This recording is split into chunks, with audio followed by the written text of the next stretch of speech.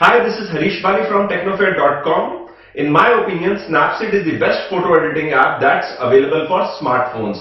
It's owned by Google. It has many good features which are normally not available in other photo editing apps like selective blur, brush, transform, lens, etc. I have been using this app for a few months now. Let me now head over to my mobile device to demonstrate the same.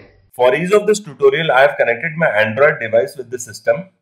Go to Play Store to download this app Snapseed. S-N-A-P-S-E-E-D.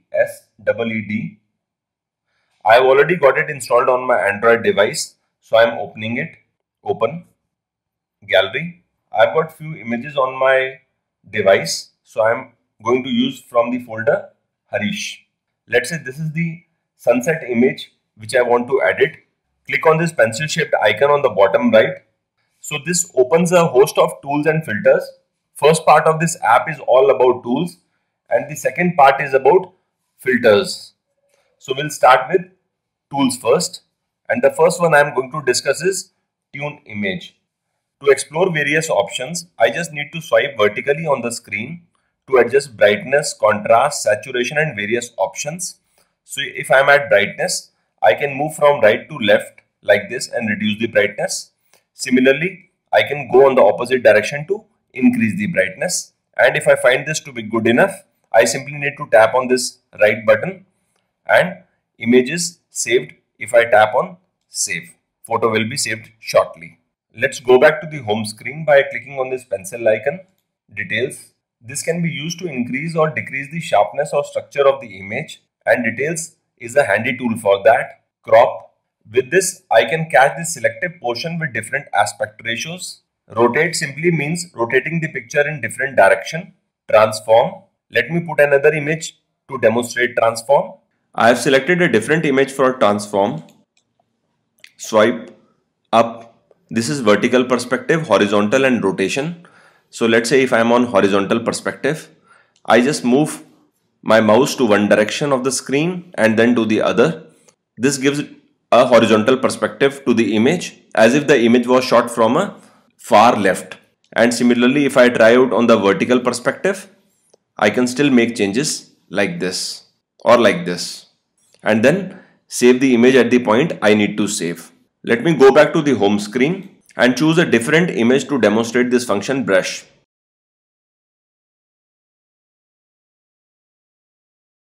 brush tap on this brush icon and there are various options dodge and burn exposure temperature and saturation. So let's say I start with exposure and simply rub your screen on the portion where you want to give exposure like this. And you can actually see the difference which is happening on the picture. All the places where I'm rubbing on the screen picture is becoming more and more bright which is very clearly evident and visible. So this is how various brush options can be used. Go back to the home screen, selective.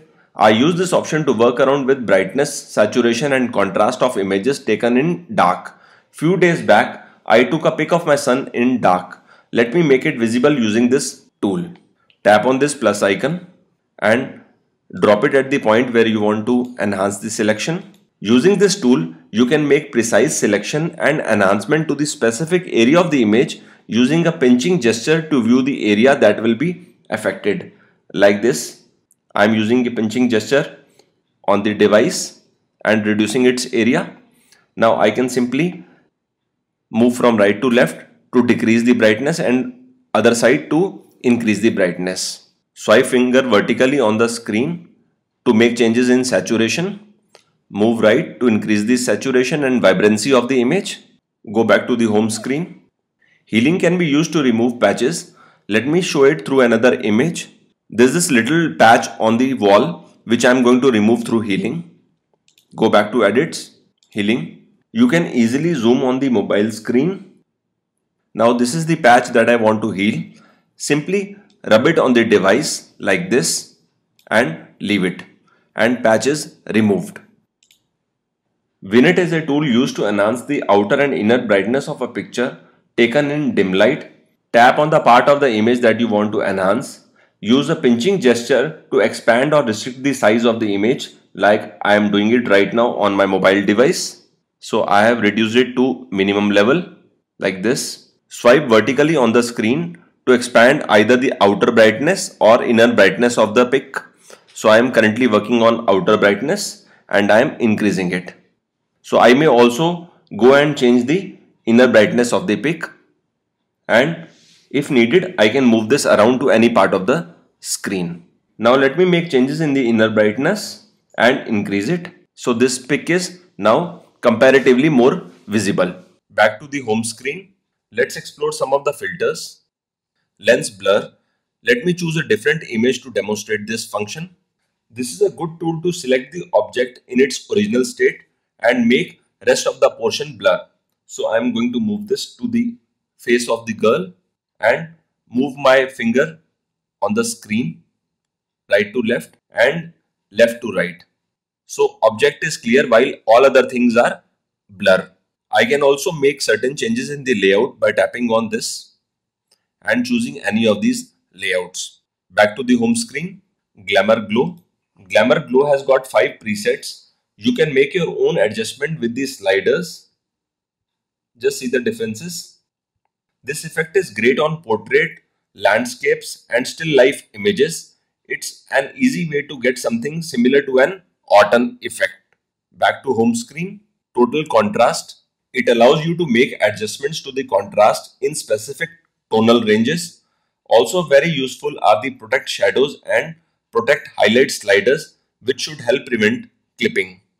HDR Scape is high dynamic range. One can use HDR Scape filter to transform a single photo into a tone mapped masterpiece. Generally, I don't use it as I end up spoiling the original feel of the picture by overdoing it.